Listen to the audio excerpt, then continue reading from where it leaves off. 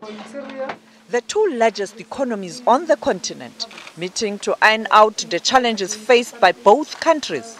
The recent attacks on foreign nationals, particularly Nigerians, dominated the talks. They are also committed to strengthening their cooperation on multilateral level.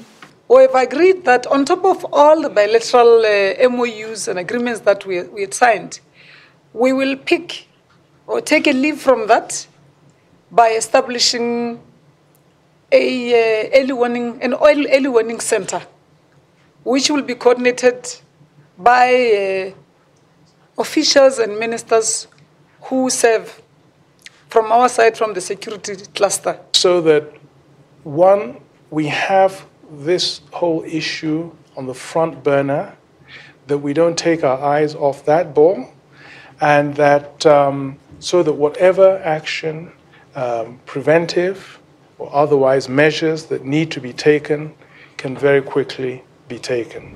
These issues will again be addressed when President Jacob Zuma and his Nigerian counterpart, Muhammadu Buhari, meet during the state visit later this year. When is our President uh, Buhari resuming? Well, we're very happy to say that he's back home, and today uh, he's actually uh, uh formally resuming uh, as, as President of our, our country. We've missed him, but also in his absence, the acting president and the vice president has done a, a wonderful job. So, um, so we look forward uh, uh, to the future, and uh, we can now start working on the date for. Um, for him to pay uh, the visit to, to South Africa. A date for the state visit is yet to be confirmed. Sophie Mokoena, SABC News, preczory